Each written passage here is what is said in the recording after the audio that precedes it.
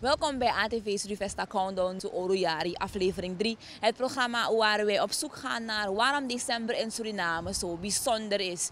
In deze aflevering belichten we twee aspecten die te maken hebben met muziek.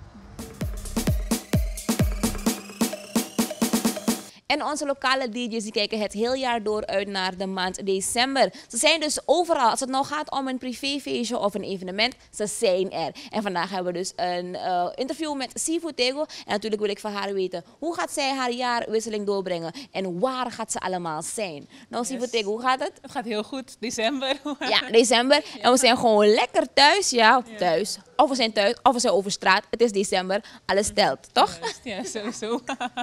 Okay. Um, hoe ga jij jouw jaarwisseling doorbrengen? Uh, ik ga vooral lekker gewoon genieten. Ik ga eerst naar de stad, lekker partyen, uh, gezellig. En daarna uh, ben ik vanaf 6 uur bij Hotel Torarica, bij het zwembad. Ja. En dan ga ik daar de boel op zijn kop zetten. Oké, okay, ik ga gelijk daarop ingaan. Je gaat dus eerst naar de stad en daarna ja. heb je dus je optreden. Mhm. um, hoe ga je daarmee om, die drukte, het doordraaien? Uh, het hoort erbij. Dus gewoon uh, goed eten, lekker even onder de koude douche en dan kunnen we dit tegenaan. Ja. ja is de decembermaand de drukste maand? Uh, volgens mij, ja, heel, ja, heel jaar door is het wel best wel druk, maar eigenlijk wel. Gewoon vooral qua mensen uit het buitenland, weet je, publiek is een beetje gemixt, ja. dat is wel leuk. Dus, ja. Ja, oké. Okay. Nou, um, je bent dus DJ, je gaat optreden als. Hoe herken ik jou in de club? Uh, je bedoelt als je me hoort draaien? Ja, als je, ja. Oké, okay, nou ik heb een hele andere stijl. Tenminste, ik probeer zoveel mogelijk mijn eigen ding te doen. Dus uh, je kan wel bijvoorbeeld bepaalde hits horen, maar dan toch in mijn eigen jasje gestoken. Dus een beetje een beetje housey vibe. Ja? Dus, uh, ja. Oké. Okay. Maar um, sowieso ben jij dus een host type. Ja. Ja, we zijn thuis, is een host type. um, maar um, heb je Surinaamse muziek in je stijl nu, de, omdat, omdat, omdat het de decembermaand is? Ja, natuurlijk komen ook de Surinaamse hits langs. Maar dan heb ik er weer een eigen sausje overheen gegooid. Ja? ja en welke, dus, uh, heb je, welke heb je erbij? Uh, dat is een verrassing dat de mensen gewoon komen luisteren naar wat ik ga doen. Ik kan gewoon eentje en dan weet ik van, ah, is hier voor Tego. Uh, nou, gewoon als je de hits hoort, Katje of misschien een oh, Witte Visie. Heb je Witte Visie erdoor? Hoe heb je dat gedaan? Wat heb je ervan gemaakt? Dat moet je horen. Ik heb gewoon een beat eronder gegooid, dat het er nog echt iets uh, harder knalt. Dus uh, er is al een remix gemaakt, volgens mij door uh, Gregor Salto. Maar ik dacht van, weet je wat, er is ook tijd voor Sifo Tego remix. Dus die komt er ook aan. Okay. Je alle hits, dus je gaat gewoon alles door elkaar horen. Ik heb echt ik heb leuke dingen voorbereid. Okay. Um, jij focus je, jij focus je dus nu op 31 december. Mm -hmm. Maar heb je ook nog optreden in januari al? Jazeker. Die... Ja? Komen er ook aan. Dus, is het dat wat je elk jaar doet, 31 december in uh, Toradica? Uh, nee, dit is voor het eerst dat ik dat, dat ga doen. Dus, uh, en voor andere optredens kunnen mensen gewoon mijn Facebook-page checken. Sifotego. Even een pluk. Ze mag gewoon reclame. Facebook, Sifotego. Check de. En dan ja. weet je waar ze gaat zijn, -hmm. wanneer en hoe laat. Juist. Oké. Okay. Um, wat raad jij af om te doen in de decembermaand? Uh, decembermaand is sowieso geen maand om te stressen. Ik denk dat je gewoon moet relaxen en het maakt niet uit wat er gebeurt. Sta je in de file, weet je, doe de muziek een beetje harder, geniet een beetje. Of uh, stoot er ja. iemand tegen je aan, laat iemand drank op je vallen. Ja, dat is life, weet je wel. Gewoon enjoy. Ja, dus life. eigenlijk um, zeg je in de decembermaand geen ruzie maken. Ja, eigenlijk het hele jaar door niet, maar gewoon december, omdat iedereen toch een beetje woelig is. Mm -hmm. Moet je gewoon rekening houden van mensen willen gewoon weet je, ze willen gewoon lol maken. Dus uh, laten we geen, uh, als ze energie niet verspillen, laten we het gebruiken op de dansvloer. Oké, okay, en wat is je code daarbij? Wat voor me? Je code daarbij. Oh, wat was dat niet? je code. Enjoy life. Be oh, happy. Dat bedoel je? Ja. Nee, dat is gewoon just enjoy life, klaar. Oh, enjoy life. Ja. Gaan we daarmee afsluiten toch? Wat is je code? Nou, Sifu Tego zegt enjoy life. En uh, geen ruzie maken in de decembermaand. Onder het genot van een Tori Osso Jinja praat ik met de heer Osho Bromuller over het Kawina Festival. Kawina Festival is going back home. En uh, Suriname heeft tijdens de Orojari hun eigen uh, Orojari geluid. En daarover gaan we het vandaag hebben. Meneer Osho, hoe gaat het met u? Heel goed. En ook een hele goede dag. Ja? U voelt u dus prettig vandaag? Ja, ja lekker. Omdat dus uh, de voorbereidingen ook goed lopen. Ja? In het begin liep het wat stroef. Maar het gaat dus nu vrij vlot. We gaan het hebben over Kawina Festival, een traditie tijdens december, tijdens de Orujari. Waar en wanneer is Kawina Festival begonnen? Uh, ik vind het fijn dat u die vraag stelt en ik vind het ook goed dat het vastgelegd wordt. Het Kawina Festival is begonnen op het terras van Theater Thalia. En het Kawina Festival, ik heb het al een paar keren aan mensen gezegd en ik vind het fijn dat ik het weer kan herhalen, is begonnen met Urta Silos, Kees Verpoort en ik, Osje Brouwmuller. Wij zijn de basis en de grondleggers van het Kawina Festival. Uh, ik werkte in die jaren in, uh, in het theater, het Reka-gedeelte. En uh, we wilden action hebben in het theater. En toen hebben we besloten met z'n drieën tot een, een, een, project te maken. En dat was dus Kawina muziek gaan highlighten. En dat hebben we dan gedaan. Iedere maand hadden we dan op het voorterras van Talia hadden we dan Kawina groepen. Urta Silas deed de selectie, die ging dus op pad om dus uh, Kawina bandjes op te duikelen. Kees Verpoort deed belichting, geluid en dat soort dingen. En ik deed dus de stoelen, eten, drinken, alles al het andere dat er omheen komt. En uh, zo is het Kawina Festival ontstaan. Een jaar of 30, 35 terug. Dat is heel lang terug. En um, nu gaat het uh, festival weer naar Tori Osso. De hoeveelste wordt dit? Hoeveelste editie? Nou, zolang Tori Osso bestaat, Tori Osso is dit jaar ook 27 jaar oud. Dus 27 jaar. Waarom? Omdat het Kawina Festival dus met mij meegegaan is vanuit Theater Talia ja. naar Tori Osso. Ja, tellen we daar ook, want daar is het begonnen. Ja. En nu 27 jaar in Tori Osso en dan daarvoor een jaar of 5, 6 okay. in Talia. Oké. Okay. Um, het is Oriari, dat is de decembermaand. En Oriari heeft ook zijn eigen geluid. Wat is dat? Nou, het geluid van Suriname is de Kawina muziek met Oriari. Ik zeg dit omdat de uh, mensen die dat dus nog, zich dat, dat, nog kunnen herinneren, weten dat met Oriari er in Paramaribo, misschien ook in de districten, maar omdat ik dus in Paramaribo heb gewoond, er altijd bandjes rondliepen in de binnenstad aan de Randstad en die gingen van hoek naar hoek en die gingen daar dus Kawina muziek spelen. En er was geen andere vorm. En die mensen die, liepen dan met een hoed rond en het publiek verzamelde zich eromheen. En de Kawina muziek werd dan op 30, 31 en, en in de Oruyari periode werd de Kawina muziek echt gehighlight. Ja.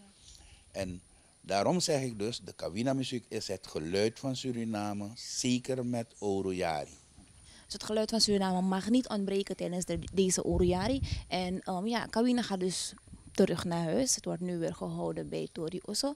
En um, hoe gaat die dag eruit zien? Wanneer wordt het weer gehouden? Wanneer is de datum? Nou, we hebben, uh, ik wil toch best wel even teruggaan naar waarom het dus op die dag gebeurt. Ja. Het is 30 december ja. aanstaande. Vroeger hadden wij dus onze Kawina een uh, festival ook uh, op 31. Maar sinds we een jaar of 20 terug hebben we toen minister Dick de Bie gekregen als minister van Toerisme. En die heeft toen het besluit genomen dat we dus moeten gaan kijken hoe we het toerisme beter kunnen gaan uh, ordenen en organiseren. En hij heeft gevraagd van laten we dus de festiviteiten van de end of the year, zo noemden we het doen, de end of the year parties. Laten we die festiviteiten gaan zetten op een kalender. En toen moest er een verdeling komen. En uh, het VAT die had zijn eigen uh, zijn, zijn feestje al.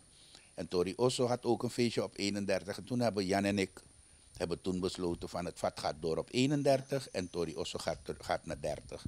Dus jaarlijks is het op 30 december. 30 december, Kawina Festival in Suriname. Ja. En ik mag u zeggen, het is zo gegroeid. Uh, we zijn dus in Tori Osso begonnen op het achtererf. Uh, we zijn dan, uh, daarna was het weer te klein, naar de stoep gegaan. En toen werd het de straat. En toen de straat, na de straat was het weer te klein. En toen zijn we naar KKF gegaan. En later een keertje ook naar een flamboyant park. Maar wat uh, het probleem voor ons is geweest als uh, bedenkers van het festival is dus dat het, de, de sfeer eruit was. Op een gegeven moment uh, kreeg je dus dat de kwaliteit verloren ging. Het werd meer een, een, een, een, commercieel feest. En wij willen dus met het terugbrengen van het feest naar Tori Osso willen we weer dus eigenlijk die leuke kawina en vrolijke sfeer erin krijgen. We willen dus nu een kwaliteitsfeest van het, Kawi- van het Kawina Festival maken. Dus or- organisatorisch zit het, het dit jaar anders in elkaar. Eh, ja, ook eh, qua een eh, budget zit het er anders in elkaar, omdat wij dus heel weinig sponsoring hebben. We hebben dus, onze hoofdsponsor is uitgevallen. De mensen weten dat, dat is Parbo geweest. Die heeft 17 jaar, 18 jaar lang dus, eh, de sponsoring van het feest op zich genomen, sedert de, de, de, de, de periode van uh, Surifesta. En eh, die hebben dus ons dus eh, bedankt. En eh, wij hebben dus gezegd van we gaan door met dit festival. een traditie En eh, het is niet omdat ik het graag wil, omdat ik denk dat de hele samenleving dit wil. De Surinaamse gemeenschap die smeekt erom en die vraagt aan iedereen van laat dit doorgaan. Dit mag niet verloren gaan. Ook als Osje Brommelen er niet meer is, moeten jullie ook dit, ervoor zorgen dat dit doorgaat. Want dit is van ons. Je kan gaan, gaan, gaan, gaan uh, hiphoppen en je kan gaan dit en je kan gaan dat. Maar dat is leuk en daar gaan we ook voor. Maar Kawina is Surinaams. Dat is het Surinaams geluid.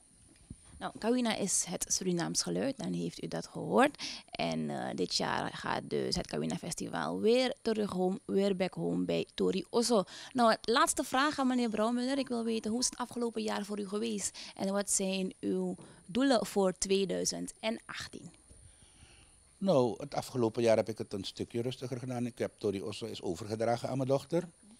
Dat is nu het uh, derde jaar al. Dus uh, ik ben een, uh, een, man in rust. Je ziet hoe ik er nu bij zit.